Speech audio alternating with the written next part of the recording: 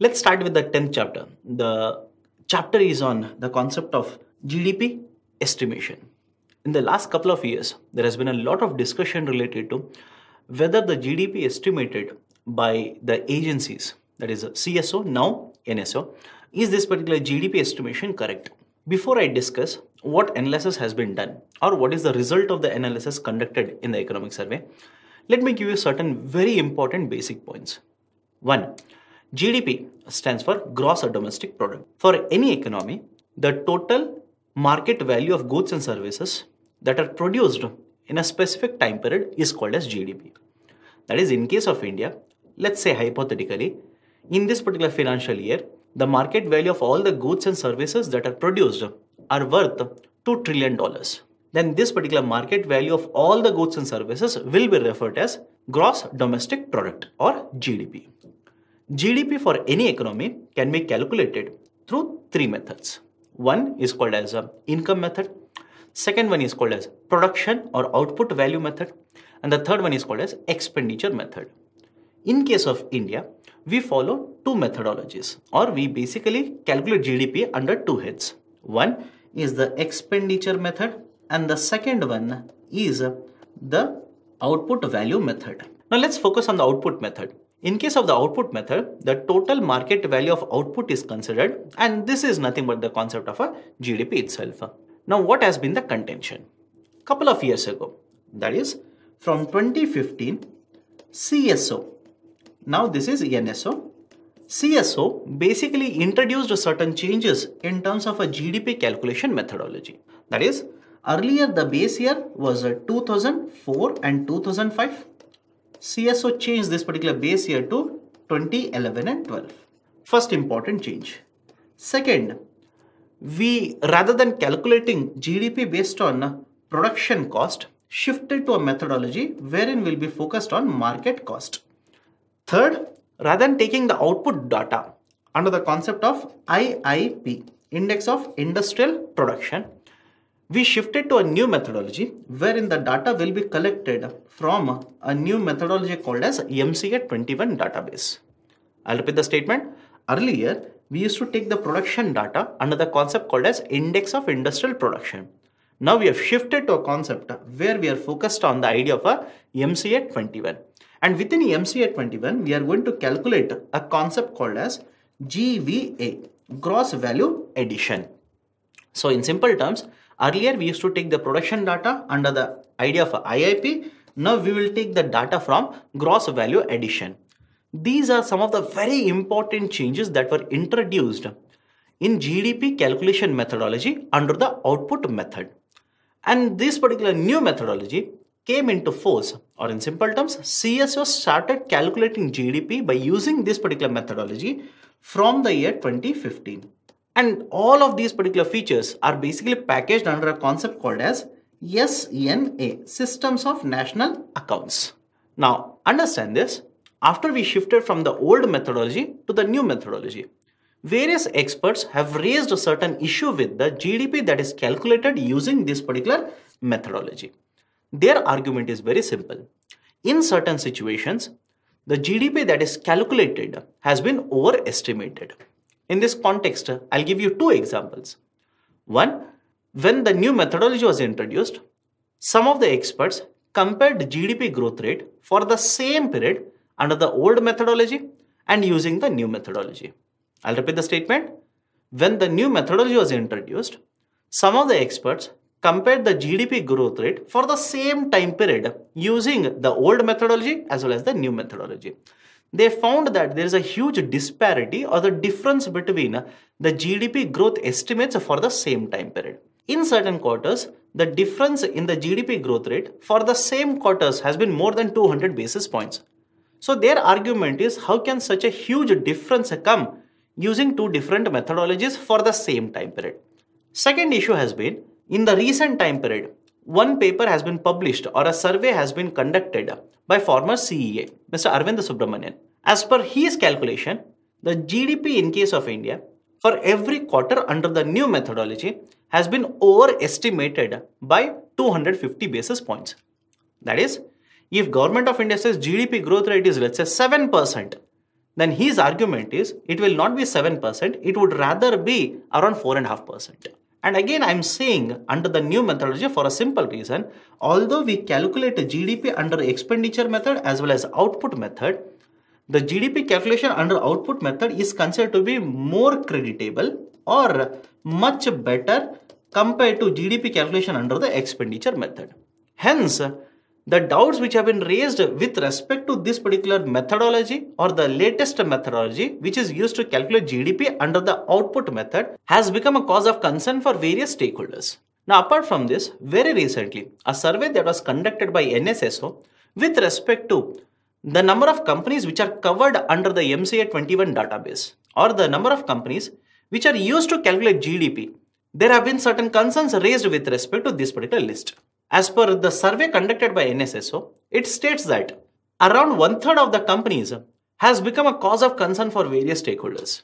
Now, apart from these two, last year itself there was an issue with respect to the type of companies or the companies which are considered in calculation of GDP under the MCA 21 database. NSSO had raised certain concerns with respect to one third of the companies which are considered in this particular database.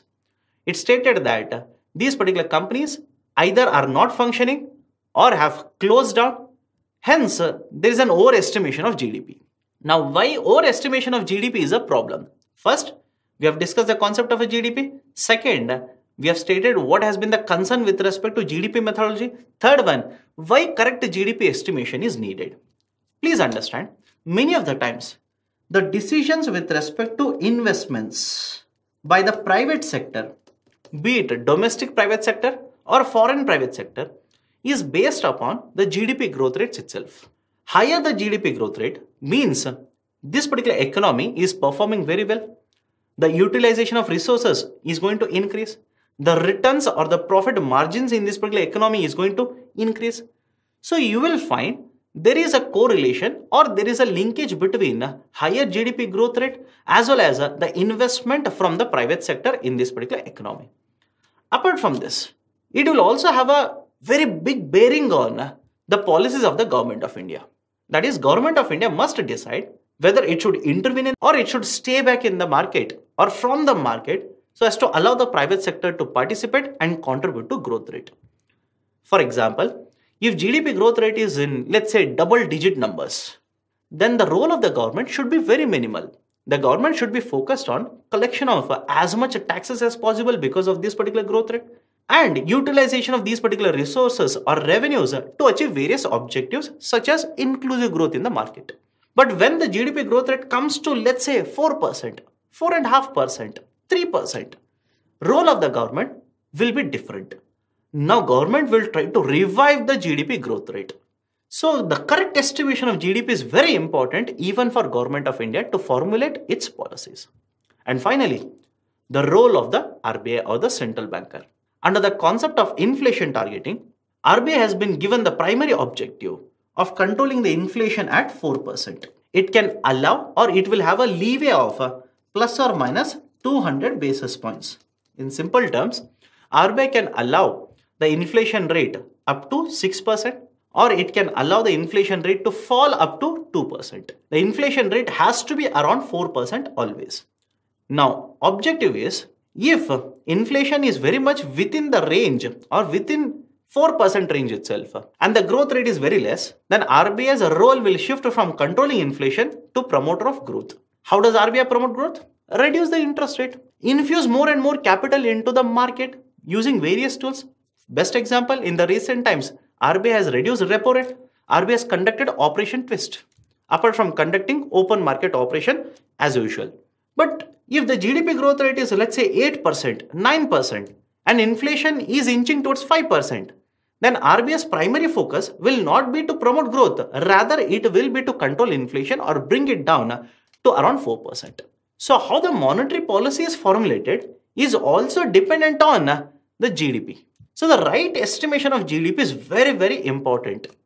This is the basic introduction to the concept of a GDP overestimation, which is being discussed in the recent times.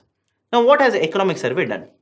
It has basically taken into consideration the methodology that has been used by various experts to come to a conclusion that there is an overestimation in India has applied the same methodology in many countries.